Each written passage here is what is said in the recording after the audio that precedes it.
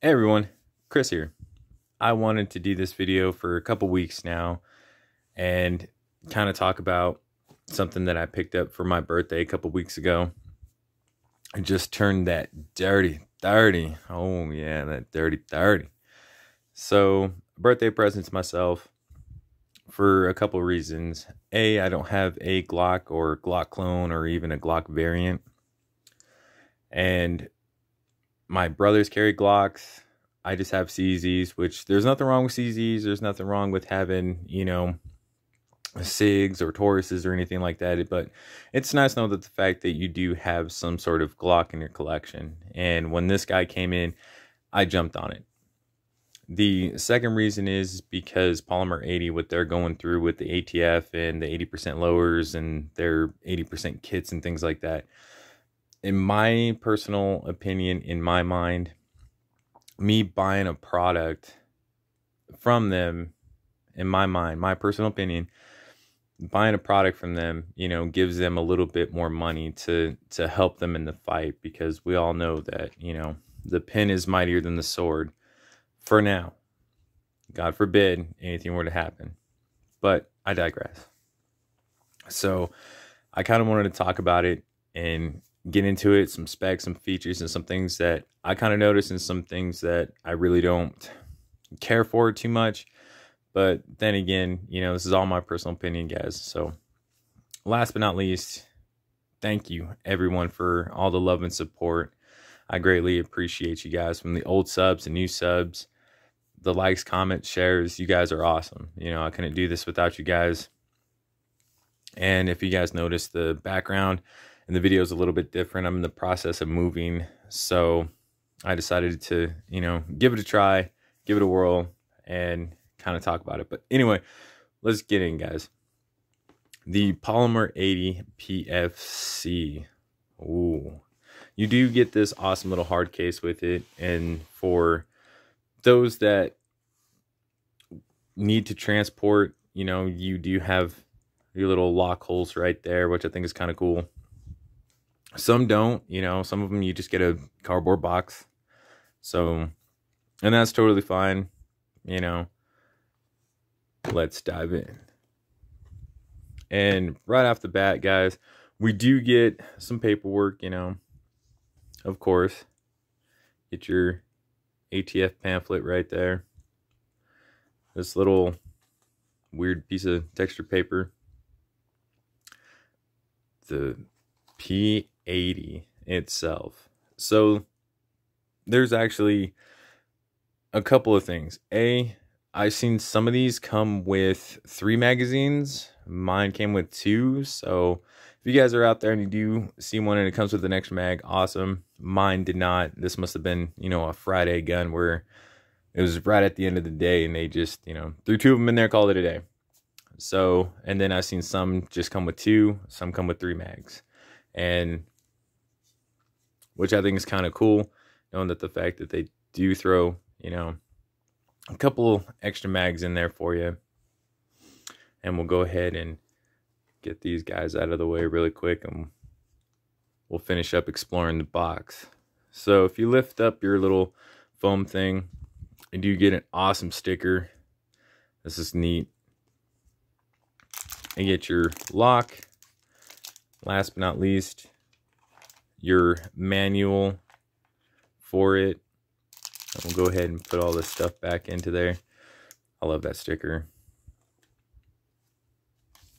And we'll put everything away.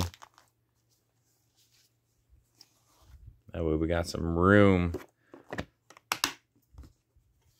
Very cool, very cool product though. And this is safety checked. Nothing in the chamber. Nothing in the mag.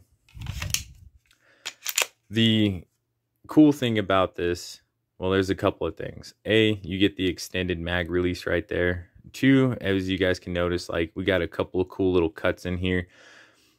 For those that have shot Glocks and had, you know, what they call Glock knuckle, some people do, some people don't. When I shoot my brother's Glocks, I've never had that issue but everybody's hands are different. So right away, you guys can tell the undercut right here. Beautiful. And then I've seen some articles talk about the little clip right here that when you go to use your support hand, some people use this shelf thing to kind of put their their thumb down on and totally all personal preference it does have a 1913 pic rail right there which i think is awesome wow the grip texture itself i thought it was going to be pretty aggressive but it's it's actually not you know i carry appendix so having you know something rough kind of like the uh, M&P 2.0 where it's really aggressive texturing. I thought this was going to rub my belly button raw. But the more that I play with it, you know, it's it's not so bad. You know. But then again, everybody's hands and everything, you know, is different. So what I may think is aggressive, the next person may think, you know, is like the perfect texture or not enough texturing. So all personal preference, everyone, personal preference. The slide is 14.7 pH stainless steel with 42 HRC black nitrated slide. The sights, as you guys can tell right out of the box, you do get focus. There we go. You do get blacked out rear with a traditional, you know, front post that is colored in. It is not a night sight.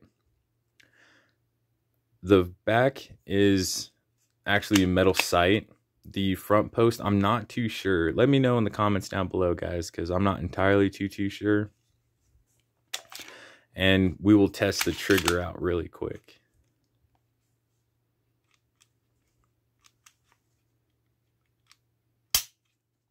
Audible and tactile. Short reset, short and crisp. So when you go to depress your safety, you do take up, and then you hit the wall right away. Nice clean break. And the cool part is is that you know how some triggers they they push your finger out past the reset. This I feel like you are just right onto the wall.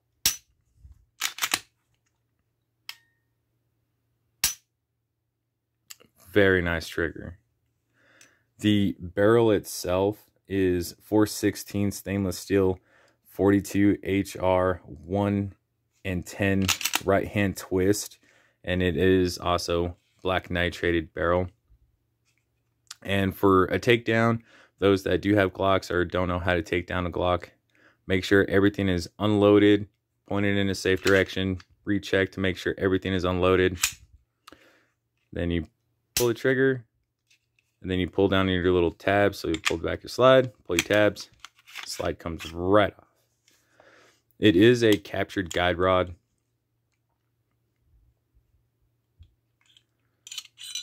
Nice barrel. I mean, all in all, this is an excellent, excellent product. And then, as you guys can see, there's still some factory grease on there. This has not been shot. I have not took it to the range. I haven't. It just stays in its little case. So we'll go ahead and put this guy back together. And we'll talk about the frame. So besides, you know, the undercut and an extra shelf, the full out pic rail, the grip angle I feel a little bit more comfortable with than, you know, your traditional Glock. Like I said, the only issue that I kind of have with this, the regular Glock, is just how I can't, and that's just me personally. You know so i think that this is an excellent piece of machinery. Yeah the more that i kind of play with that texture the more i'm starting to like it. Points really natural for me and as you guys can tell you do get a beaver tail on it allows you to get higher up on it awesome we'll go ahead and put this guy back together function test it. Make sure everything's working. All in all, do I recommend it? Yes. I think that if you are in the market for something and you don't have a Glock, I highly recommend picking up, you know, a Glock or even the P80. This is awesome. I think this is probably one of the coolest. Whoops, I didn't mean to drop it. Probably one of the coolest guns that I probably have besides my CZs. But other than that, I think if you are in the market, really look into it, play around with it. So, yeah. Other than that, guys, I appreciate everything that you guys have done. I couldn't do this without you. You guys are the heart and soul of this channel. And I was really excited to actually make the video and get it out there to you guys. So, as always, guys, we'll catch you in the next one.